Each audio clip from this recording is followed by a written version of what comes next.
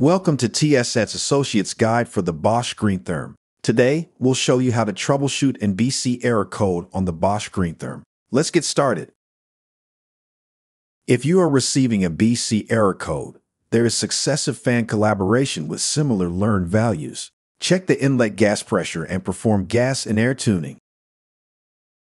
Thank you for watching. We hope you found this training video helpful and informative. If you have any questions or need further assistance, please don't hesitate to reach out. Like, share, and subscribe for more valuable content. Have a great day.